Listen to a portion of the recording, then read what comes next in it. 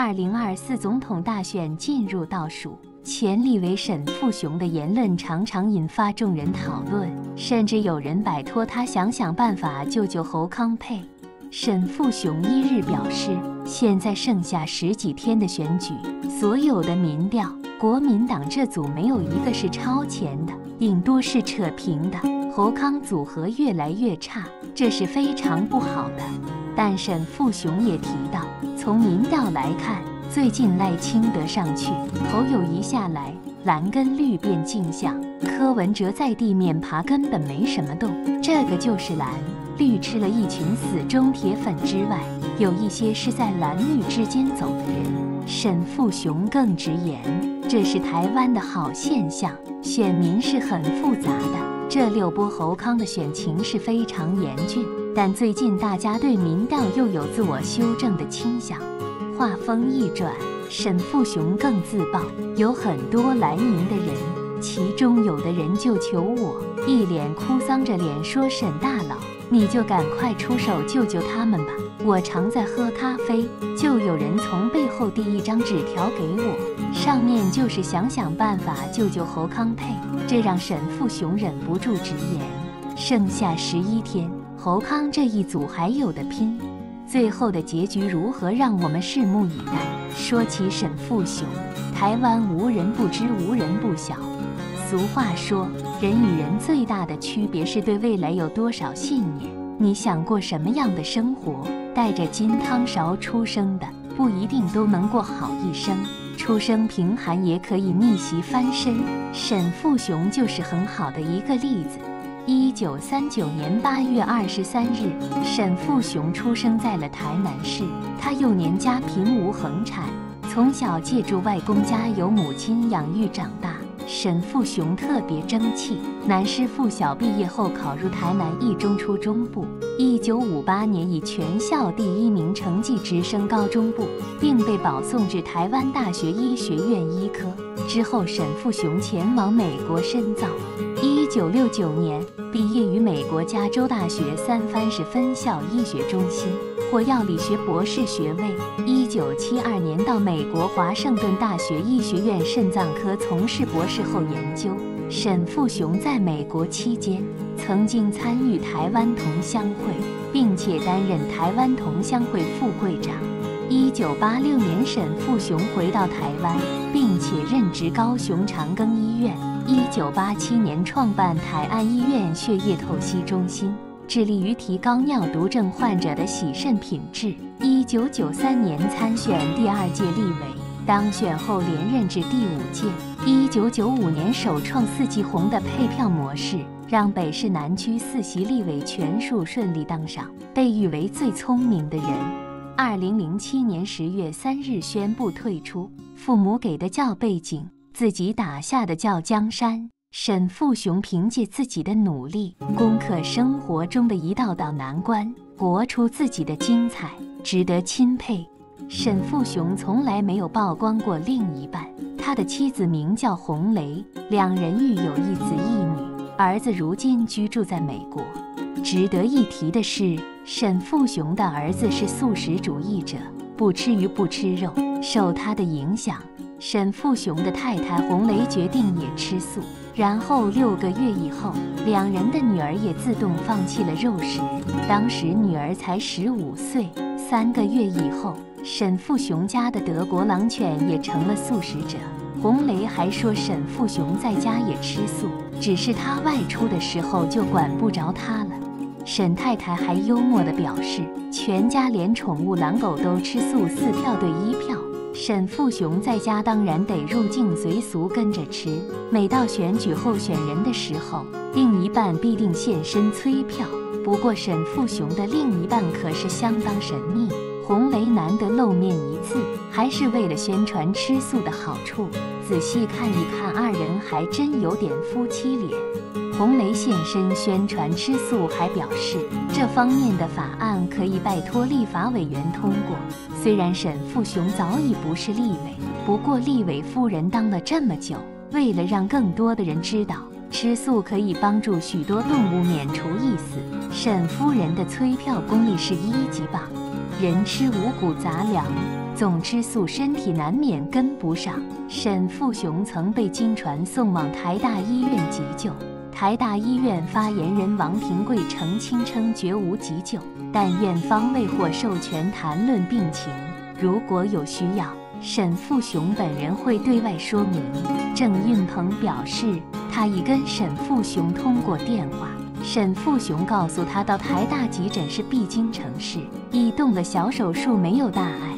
沈富雄秘书透过社交平台表示，沈富雄一点小毛病已经处理完毕，没事，谢谢关心。沈富雄近年来活跃于电视政论节目，已是名嘴级人物，是很多政治人物口中的沈大佬。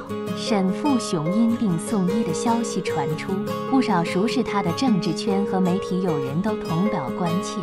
在生病送医之前，沈富雄便在社交平台上公开表达临终心愿与身后安排，留下八项遗言，包含不插管、不气切、不电击、不可成为植物人以及后事交代等，还有提到什么管都不要插，包含尿管在内。事实上，后来沈富雄的状态非常好，担任过医生、立法委员、电视台名嘴的他。虽已超过八十岁高龄，却依然神采飞扬。沈富雄表示，因为做好五件事，在十多年前开始过着既不必担心资产缩水，还能定时与老友相聚，每年出国游山玩水的退休生活。在二零一三年十一月底的一场退休研讨会中，沈富雄大方分享他的退休秘诀，还对着席间七成的金融与财务顾问人员说：“金融机构总是这样告诉民众，思考自己几岁退休，退休前要准备多少钱，要做哪些安排。”我说这种说法都是错误的，谈退休根本不需要财务顾问的帮忙。沈富雄敢于这么说，除了是他一贯的作风，其实也来自他靠自己规划而成功退休、自在生活的信心。他说：“一个人一生有五大项的经济行为，依序是本业、副业、储蓄、房地产、股市。只要处理好这五件事，就能过着水准以上的生活。”退休生活也不必烦忧。以下就是沈富雄处理好五件事的方法：首先，选专业度高的工作，起薪就不会差。沈富雄认为，有好的本业收入，退休的准备就成功一半。因为本业薪水的高低，除了影响一个人要花多久时间存到第一桶金。和理想的退休金，更影响到退休前存钱过程中退休后实际生活的品质。他接着举例指出，像许多女孩子因有害怕逃避数学的潜意识，念书时多选择大传、社工等学习就读，等到出社会求职时才发现，求职者重薪水无法提升，但若克服心理障碍，就读数理相关科技如精算等。因为念的人少，但市场需求相对高，起薪就不会太差，财务起步就比别人顺利。对于副业，沈富雄定义的目的是让人在短时间内可以多赚一点钱，或是累积人脉。只是如何找到副业，他略带趣味地说，副业和本业不同，不是人人都能拥有的。而在沈富雄一生中，曾经营过两个副业，一是立法委员，另一个是名嘴。对于做立法委员，他的心得是，除非在任期中为非作歹，或是当前客中介，要不然当立法委员肯定是亏本的一件事。